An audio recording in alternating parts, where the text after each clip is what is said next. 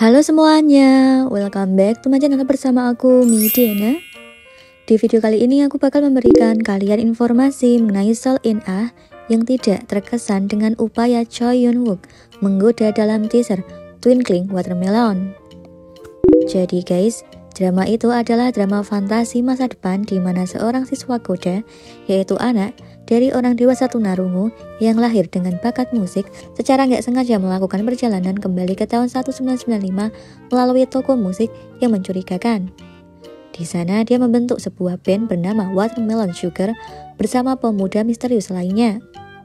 Ruyon akan membintangi drama ini sebagai Enkyo, satu-satunya orang yang dapat mendengar di keluarganya yang menjalani kehidupan ganda sebagai siswa teladan yang sempurna di siang hari dan gitaris band di malam hari. Lalu Choi Yun Wook akan berperan sebagai Lee Chan yang penuh dengan semangat, penuh dengan aura generasi X guys. Lalu Sol In Ah akan berubah menjadi Dewi Chelo Sekyung di SMA Seni Sowon, sementara Shin Ansu akan berperan sebagai putri S yang dingin dan juga angkuh bernama Chung Ah yang tulis sejak lahir.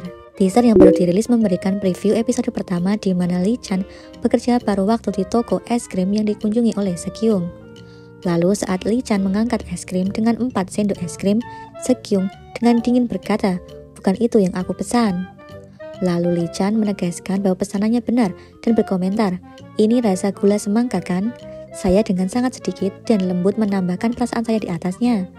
Lalu Sekyung tetap bergeming saat dia menjawab, Maaf, tapi menurutku aku nggak bisa membawanya.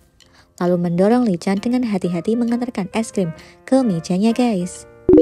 Namun saat teman Lichan tiba-tiba muncul membawa kabar neneknya sedang dalam perjalanan, Lichan buru-buru kabur setelah memperkenalkan dirinya kepada Sekyung.